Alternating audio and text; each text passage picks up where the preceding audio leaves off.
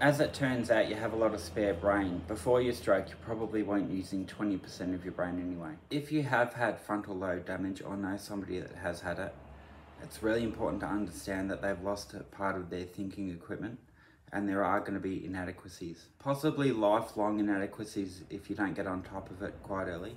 Hey guys, today I wanted to talk about frontal lobe damage, um, something I've dealt with myself and I've dealt with a lot of people that have had it. I wanted to mention Phineas Gage. He's one of neuroscientists' most famous um, patients. Gage was a railway worker in the 1850s when a steel rod went through his brain, specifically um, past under his left eye and through his frontal lobe. His Dr. Harlow made very important observations that have pioneered brain injury research. If you're studying first year psychology, you've most likely been made aware of Gage and um, his effect on psychology. Gage was able to walk away after his injury after a few minutes, but um, his injuries were profound and really well documented. Post ABI, Gage was described as impatient, uncontrollable, ill tempered, violent, impulsive, and he'd in, he'd abandon ideas really quickly um, for a, for an easier idea.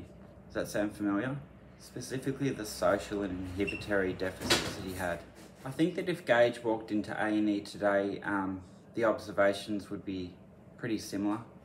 Um, stroke and brain injury aren't going anywhere at all and they're actually really predictable what's going to happen. Here's a picture of my brain showing the brain injury um, probably two or three days after the stroke when brain injury becomes. By looking at the MRI, you can decide for yourself how medial or lateral my um, injury is. Is it prefrontal? If it's not prefrontal, why do I have these problems? How to fix the frontal lobe injury? My ischemic um, clot lodged in the middle cerebral artery, which supplies motor function, your motor strip, and also frontal lobe. I'm still thinking through how to fix frontal lobe damage because, of course, I'm biased by having one myself. But I've really found that it's helpful to, if you have a thought and don't say it, recognize that. Um, that's a win, that's progress. If you do have frontal lobe damage, you may be at the um, the maturity level of an 18 month old or a two year old. Not what you want to hear, but it's bloody well what you need to hear. So to fix that, if you can listen to yourself talk as if you're listening to somebody else, if you have something to say that's the slightest bit inappropriate, you'll know.